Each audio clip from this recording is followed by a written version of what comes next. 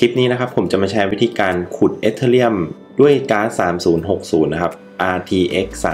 3060 ให้ได้แรงขุดเนี่ยเต็มๆนะครับ ก็คือประมาณ 50 mH ซึ่งจะทำยังไงก็ไปชมกันเลย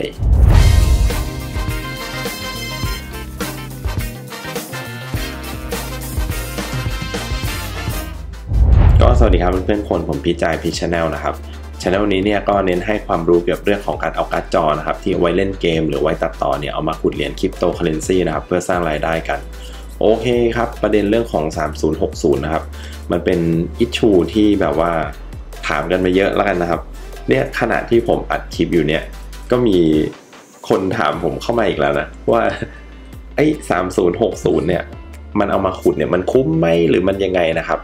คือพอเวลาคนมาถามผมอย่างนี้นะครับ ผมก็ต้องตอบไปว่า เออ มันก็คุ้มนะครับ ในมุมผมเนี่ยการ์ดใบไหนมันก็ขุดได้หมดนะครับ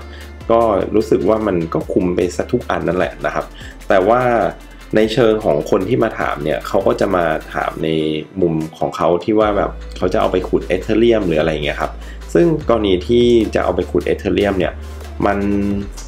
มันค่อนข้างยากนะมันเป็นท่ายากนะครับมันเป็นท่ายากนะครับท่าหนึ่งในการทำเครื่องขุดแล้วกันนะครับ ซึ่งผมมองว่าถ้าสำหรับมือใหม่หรือว่าคนที่เพิ่งเข้ามาในวงการเนาะบางทีไปเจอราคาแล้วกันเนาะราคาของตัว 3060 เฮ้ย ไปดูมาอย่างคลิปก่อนผมทำเรื่องของการขุดไปเนี่ย ก็ไปดูแล้ว เฮ้ย มันขุดได้ตั้งเกือบ 50 m h นะครับ ราคามันเนี่ย ถ้าในท้องตลาดเนี่ย ก็อยู่ประมาณใบละ 30,000 ประมาณนี้ครับ ประมาณบวกลบแล้วกันนะ 30,000 บวกลบเนี่ยเขาก็แบบว่า เออ มันก็ดูคุ้มค่าอยู่เนาะ แต่จริงๆแล้วจะบอกว่าคือ condition มันเยอะมากนะ คือมันต้องมีทรัพยากรหรืออะไรอย่างอื่นเนี่ยที่มันยากแล้วกันนะเออในการที่จะผลิตเครื่องขุดแนวๆอย่างเงี้ยนะครับ เพราะอะไรนะ เดี๋ยวผมจะอธิบายในแต่ละขั้นนะครับ ซึ่งเอาเป็นว่านะครับในมุมผมนะครับที่ผมบอกว่าคุ้มเนี่ยในการขุดเนี่ยก็คือเอาไอการ์ดซีรีส์พวกนี้เนี่ยจริงๆ ผมก็มีอยู่ประมาณ 6-7 ใบเออประมาณนี้แหละนะก็มาขุดเป็นเหรียญอื่นนะครับคอนฟักฟิโลหรืออะไรพวกนี้ครับ ผมก็เอามาขุดเป็นแนวสายทางเลือกแล้วกันเออเป็นเหรียญทางเลือกอื่นๆแล้วกันเนาะคือเพราะว่าตัวเอเธเรียมเองเนี่ยถ้าเราจะเอามาขุดเนี่ยมันจะต้องมีส่วนประกอบหลาย ๆ อย่างนะที่เข้าองค์ประกอบพอเข้าปุ๊บเนี่ยมันก็ขุดได้เออซึ่งเอาเป็นว่าผมจะมาสรุปแล้วกันนะในคลิปนี้นะครับเผื่อเพื่อนๆคนไหนอยากจะขุดด้วยการ์ดรุ่นนี้เนี่ยแล้วจะทำเป็นลิกใหญ่ ๆ นะครับ อันนี้เนี่ยมาฟังคลิปนี้ก่อนนะครับ แล้วก็จะได้รู้ว่าเออมันทำได้ใน setting แบบไหนบ้างประมาณนี้นะครับ ตัวสิ่งที่จำเป็นต้องมีนะครับ มีอยู่ 5 อันแล้วกัน อันแรกเลยนะครับก็คือการ์ดเนาะเราก็ต้องมีการ์ดก่อนนะครับ ไปจัดหามาได้เลยนะครับ ใครจะซื้อมือ 2 มือ 1 มืออะไรอย่างเงี้ยครับ ก็อยู่ประมาณ 30,000 ใกล้เคียงนี้นะครับ หรือ 30,000 30,000 กว่ากว่า อันนี้แล้วแต่รุ่นนะครับ ถ้ายังเป็นรุ่นที่เป็น Strix ASUS Strix เงี้ย มันก็แพงขึ้นมาเนาะไม่รู้มันเป็นเพราะอะไรเหมือนกัน คือผมก็หลงไปซื้อมาไม่น่าเลยตูหรือถ้าเป็นรุ่นอื่นๆนะก็อาจจะมี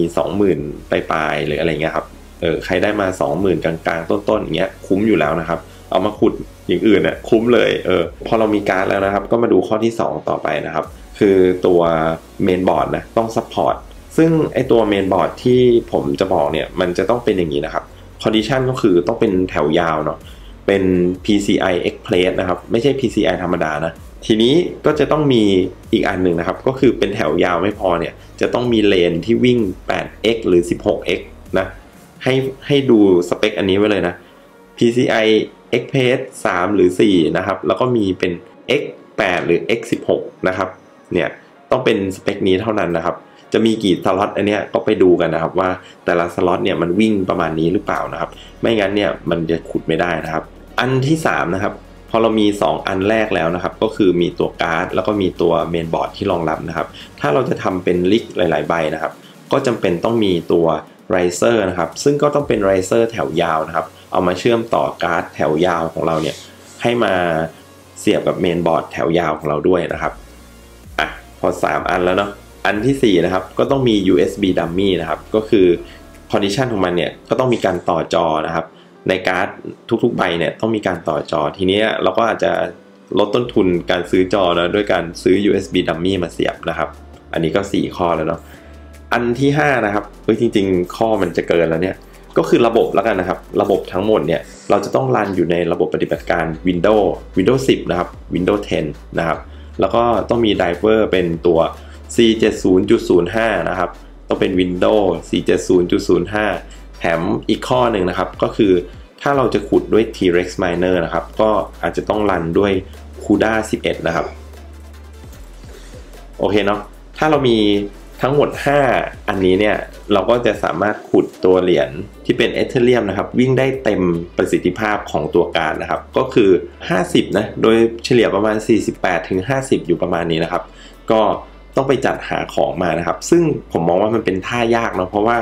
แค่ตัวธรรมดาที่เป็นเมนบอร์ดที่มีสล็อต PCI เนี่ย6ช่องหรือ 6 ช่องบวกๆเนี่ยมันยังหาในท้องตลาดค่อนข้างยากเนาะแล้วเราต้องไปหาตัวที่มันเป็นสล็อตยาวนะแถมสล็อตยาวธรรมดาไม่พอต้องวิ่ง x8 หรือ x16 ขึ้นไปทุกช่องด้วยนะ เออ มันก็เลยเป็นท่ายากนะครับ ซึ่งเมนบอร์ดส่วนใหญ่นะครับ ถ้าจะเป็นแนวๆนี้เนี่ย ก็จะเป็นเมนบอร์ดที่เป็นของเครื่องเซิร์ฟเวอร์นะครับ เอาเป็นว่าเดี๋ยวผมเนี่ย ข้อมูลอันนี้นะครับ ผมเองเนี่ยก็ไปหามาหลาย ๆ ที่นะครับ มันจะมีเว็บอยู่อันนึงนะครับ ที่รวบรวมมาค่อนข้างดีนะครับ ก็คืออันนี้นะครับที่ขึ้นอยู่บนหน้าจอนะ Win 10 Support อันนี้นะครับ เดี๋ยวผมจะทิ้งลิงก์ไว้แล้วกันนะครับ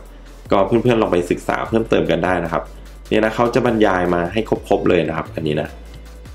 นะเรามาดูเมนบอร์ดนะ ก็หน้าตาเมนบอร์ดอันนี้เนี่ยเดี๋ยวผมไปดูรุ่นก่อนนะ รุ่นที่เขาบอกไว้ก็คือรุ่น ASMB 822 อันนี้นะครับ ก็คือรุ่นนี้เลยนะ หน้าตาจะประมาณนี้เลยนะครับ ซึ่งตัว PCI แถวยาวของเขานะครับ มีอยู่ 5 ช่อง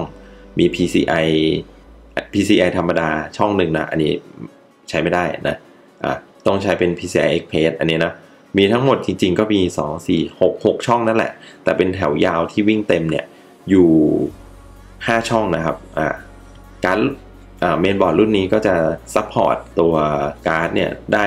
5 ใบนะครับ ที่แบบวิ่งเต็มๆ มันต้องเป็น X16 แถวยาวนะครับเออแล้วก็ต้องวิ่งเป็น 8 เลนกับ 16 เลนเออประมาณนี้เนาะ